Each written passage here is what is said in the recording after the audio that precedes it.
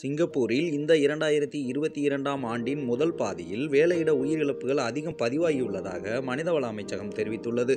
இருப்பினும் வேலையிடத்தில் ஏற்பட்ட காயங்களின் எண்ணிக்கை குறைவு என்றும் எம்ஓஎம் வெள்ளிக்கிழமை செப்டம்பர் பதினாறாம் தேதி கூறியது. சிங்கப்பூரில் இரண்டாயிரத்தி இருபத்தி இரண்டாம் ஆண்டின் முதல் பாதியில் இருபத்தி எட்டு வேலையிட மரணங்கள் ஏற்பட்டுள்ளன. இது ஆறு மாத அடிப்படையில் இறப்பு விகிதம் ஒரு லட்சம் ஊழியர்களுக்கு பூஜ்ஜியம் புள்ளி எட்டு என கொண்டு வந்துள்ளது. இதே நிலவரம் கடந்த இரண்டாயிரத்தி இருபத்தி ஒன்றாம் ஆண்டில் முற்பகுதியில் ஜீரோ புள்ளி ஏழு விகிதம் எனவும் பிற்பகுதியில் ஜீரோ புள்ளி நான்கு விகிதம் எனவும் இருந்தது குறிப்பிடத்தக்கது. இந்த இரண்டாயிரத்தி இருபத்தி இரண்டாம் ஆண்டின் முதல் ஆறு மாதங்களில் பதிவான இருபத்தெட்டு இறப்புகளில் பாதி பேர் மேலே உயரத்தில் இருந்து விழுந்ததும் வாகன விபத்திலும் சம்பந்தப்பட்டு இறந்ததாக சொல்லப்பட்டுள்ளது. இதனால் முழு பாதுகாப்பு நடைமுறைகள் முடுக்கிவிடப்பட்டுள்ளன. கடந்த சில வாரங்களுக்கு முன்னர் ஊழியர் விழுந்தது தொடர்பில் நிறுவனம் ஒன்றிற்கு வெளிநாட்டு ஊழியர்களை வேலைக்கு எடுக்க மூன்று மாதங்களுக்கு தடையும் விதிக்கப்பட்டது.